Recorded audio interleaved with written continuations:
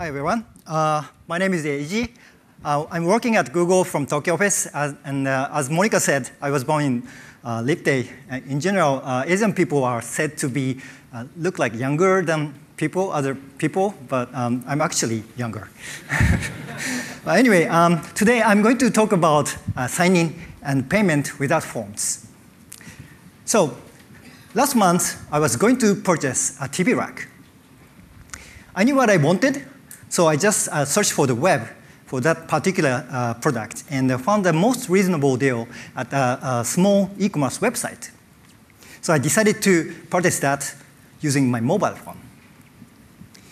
According to our research, 66% of mobile purchases are done through mobile web rather than native apps. That's great to hear, right? So I went to uh, continue to check out form and try to fill out form. But in the end, I gave it up the reason is that you know, the entire experience filling out forms is so painful, right? Uh, typing uh, credit card information, address information, and a password on tiny, tiny software keyboard is such a frustrating experience, right?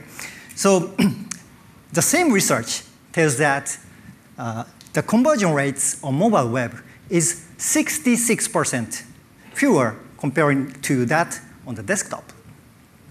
Even for returning users, rem remembering and typing their password is a pain. Another study shows that 92% of users who visited your website um, leaves without uh, resetting or recovering their account when they forget their password. Web forms uh, causing lots of friction, and we need to fix that. In order to overcome this situation, uh, web platform have come up with two new APIs, which are uh, Payment Request API and uh, Credential Management API. So what I'm going to do now is to show you a demo website uh, which we introduced at Google I/O called Polymer Shop, and uh, how we integrated Payment Request API and Credential Management API play nice together.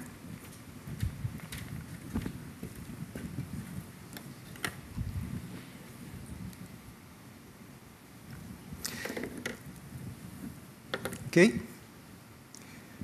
So this is the uh, Polymer Shop website. it looks nice, right? So imagine that I'm looking for a sweater or some kind of clothes that warms me up for upcoming winter. So let's explore the website. By the way, um, this looks all good, right? And you want it, but these are not uh, actual shop. And please don't send us email asking uh, when you get the uh, goods delivered. Uh, we actually had that. but anyway, um, let's continue. Yeah, this one, this hoodie looks nice. So let's purchase this.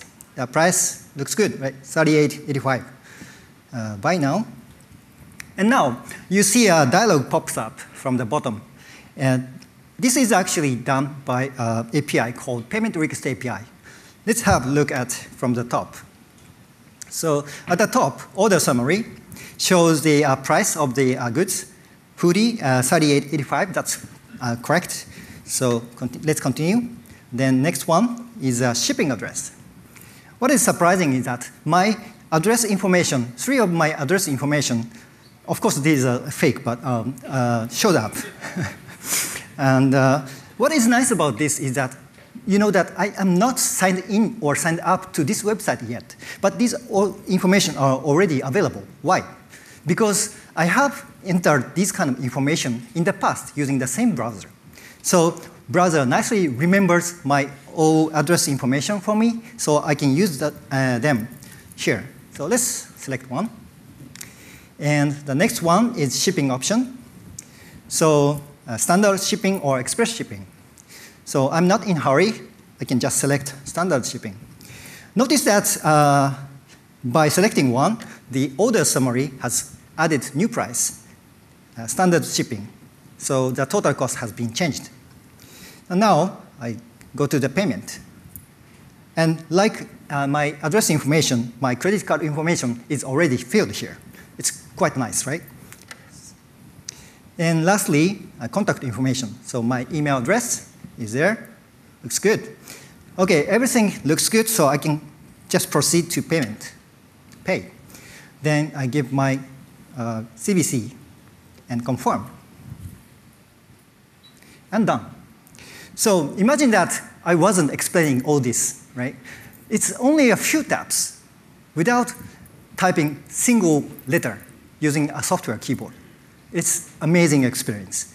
And now we are at the account creation page. So the good thing about um, making account creation page after making purchase is that users can uh, make purchase using a guest checkout, which is much, much lower hurdle for uh, users. And then users are motivated to create an account.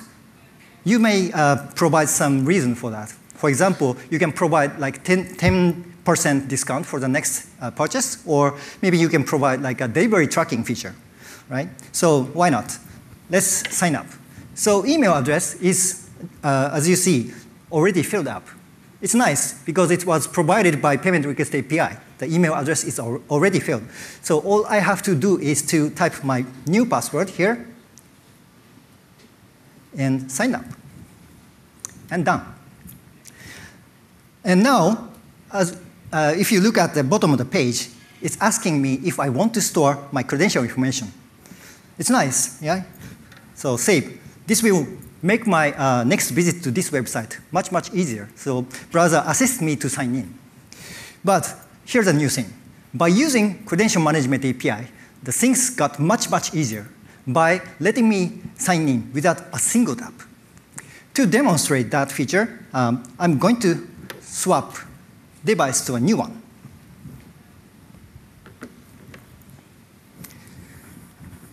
So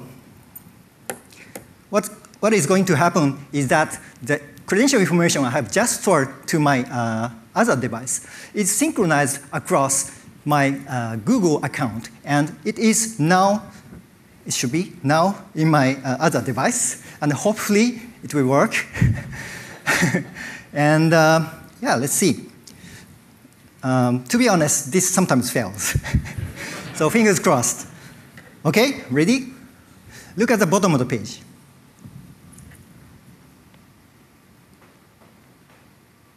Boom, I'm signed in. Yeah. So imagine that, you know, you have to sign in by tapping something at least. But with this, you have no action required to get signed in and just continue your shopping experience. This is really nice. Okay, can you uh, turn back the page? Uh, slide? So, um, sorry, um, this beautiful integration was possible because of a payment request API and credential management API. And um, I'm going to introduce uh, each of uh, APIs now. So payment request API. So payment request API provides uh, a standard compliant online payment flow. Usually making payment requires you to fill a long form and submit that to the server. But with Payment Request API, you can, um, instead of filling out form, you can just a few tap to submit the same information. If there are no address or credit card information already available, users can just add them on the fly using the same native UI. The address information can be stored and synchronized across uh, devices and available from anywhere for their future shopping experience. The best part of Payment Request API is that once those information is stored to the browser, we basically have all the data required to get the uh, payment flow, uh, get through the payment flow, and without creating an, an account. Even for the users who have never visited your website, before can make purchase. And it's easy. Payment Request API also allows third-party payment methods to be part of the ecosystem. Anyone will be able to provide an app or a web app to, uh, for merchants to process payment in the future. One such effort is Android Pay uh, for Payment Request API, which is currently in beta, and you can try it out. To learn more about payment request API, we provide integration guide and demo site and so on. So you can just follow the link, g.co uh, payment request API. So integrating payment request API into uh, Polymer Shop, we created a component, shop payment request. Uh, nice thing about making it a web component is that the sum of uh, predefined parameters can be set as element uh, attributes, element attributes declaratively, like uh, currency, supported methods, and request, uh, request payer email, and so on. It's declarative. Requesting payment can be done through a function call. Because it returns a promise, you can just continue with sending the result to payment processors when the promise resolves. And now about the credential management API. So credential management API provides a programmatic interface to the browser's uh, password manager in a secure way. So you can obtain or store users' credential information on behalf of the user. As you have seen at the uh, Polymer Shop demo, you can enable auto sign-in by obtaining the credential information, then uh, send that over to the server on behalf of the user, which is authentication. Signing in using a third-party identity, such as Google or login, is quite popular because it allows users to sign in just by one tap, right? And it also uh, good for your security. But the problem is that that kind of information is not stored to the browser. So you forget which identity provider I use to sign into this website, right? But by using credential management API, it can even remember that information. So by uh, storing the choice of your uh, uh, federated login account, you can let invoke uh, identity provider's authentication logic to let the user sign in. Even if you choose not to use auto sign in, you can still skip the sign in form by using a uh, account chooser without typing a password. This feature is also uh, useful for those who have multiple accounts, so it's handy. Android apps have similar feature called uh, Smart Lock for Password. By associating your Android app and your website, you can share the same credential information between them. So if a user stored uh, credential information to Android app by signing up, he can, uh, the, the user can come back to the, their, the same website, the associated website, to get all signed in, which is awesome. To learn more about credential management API, uh, we also provide uh, integration guide and so on, so you can just follow g.co slash credential management API. And integrating this shop uh, credential management API and entire authentication uh, mechanism was we created by uh, shop account component.